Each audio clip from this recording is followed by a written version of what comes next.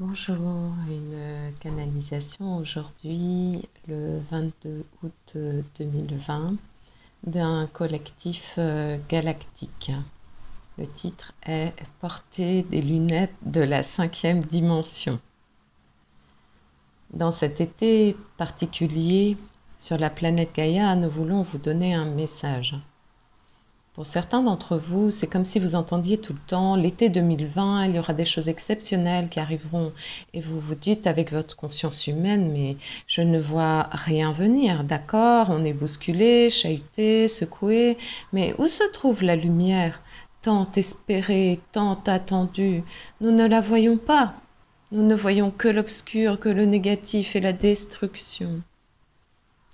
Cette vision est correcte d'un point de vue qui est le vôtre le point de vue, la vision d'un être qui est encore en troisième dimension. Nous souhaiterions vous dire, euh, changez de lunettes. Portez des lunettes de la vision de la cinquième dimension et vous verrez et appréhenderez la vie d'une autre manière.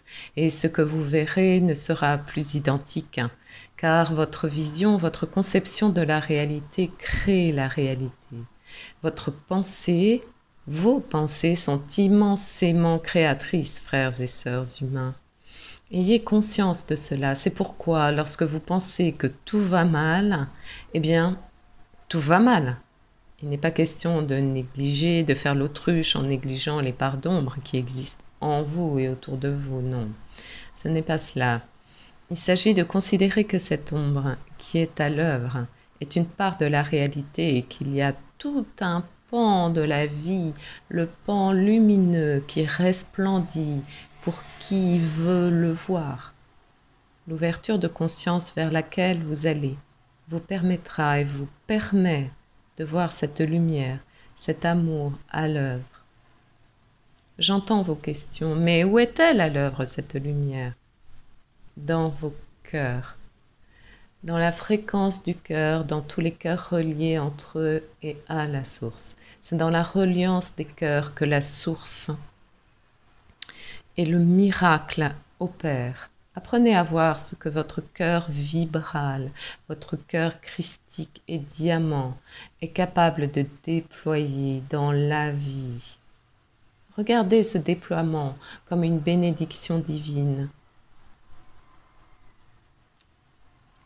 nous pouvons vous dire que ce déploiement de l'amour des cœurs est à l'œuvre et que rien ne peut plus l'empêcher, ni bloquer quoi que ce soit. Bloquer ce processus, c'est impossible.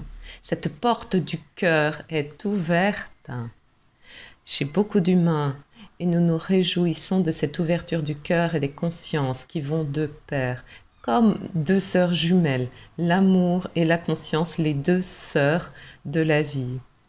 Gardez bien cette vérité à l'esprit, quoi qu'il arrive dans votre vie, tout est en marche pour que la paix, l'amour et la joie règnent sur Gaïa. C'est en chemin de manière accélérée, soyez-en certains. Nous voulions aussi vous parler d'une autre chose, les émotions.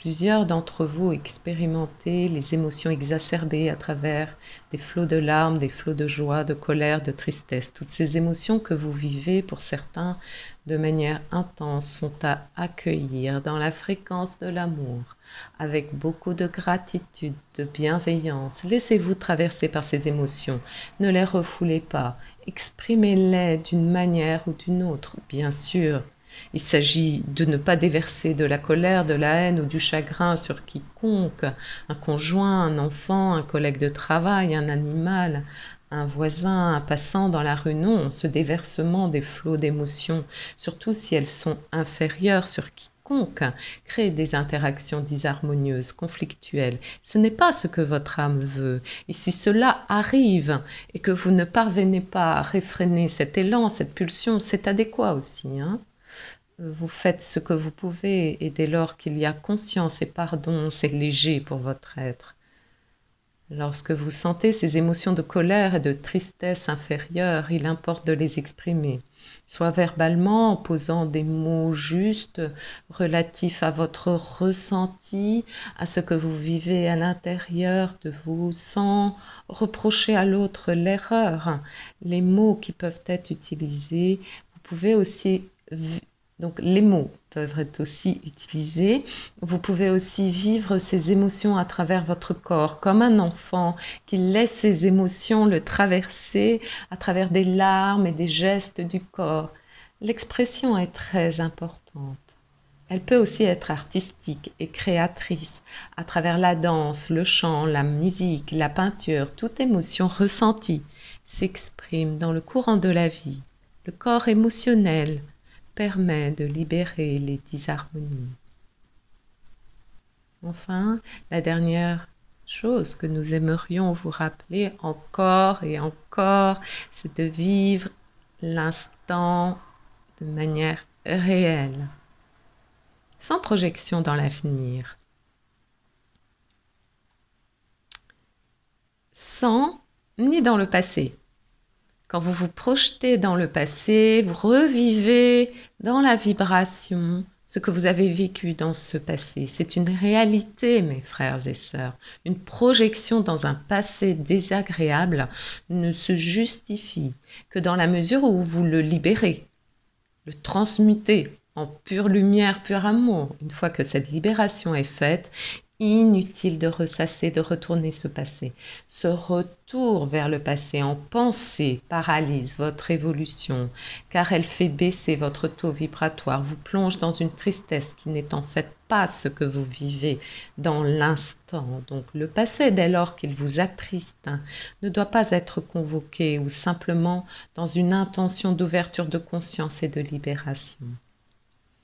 Concernant le futur, c'est idem. Si vous redoutez le futur, vous émettez un instant des vibrations de peur dans l'instant, alors que euh, ça ne l'est pas. Ce que vous vivez en conscience dans l'instant. Il n'existe pas ce futur, comme le passé n'existe plus. Il s'agit de neutraliser ces lignes temporelles passées et futures en vivant pleinement le présent de manière très concrète. Et quand bien même vous imaginez un futur merveilleux, ce qui est adéquat pour vous, et que vous vous dites en permanence vivement que ce futur arrive, je suis triste maintenant, eh bien, vous créez un espace vibratoire d'attente, d'insatisfaction qui n'est pas adéquat. Nous vous invitons à vivre l'instant le plus possible dans votre vie. Dans l'instant, vous accueillez tous les possibles et vous créez tous les possibles à venir. Nous vous embrassons et nous vous envoyons nos bénédictions galactiques, vos frères euh, et sœurs du collectif galactique. Merci, merci, merci. Gratitude, euh, frères et sœurs galactiques, et gratitude à vous qui écoutez. Merci, merci, merci.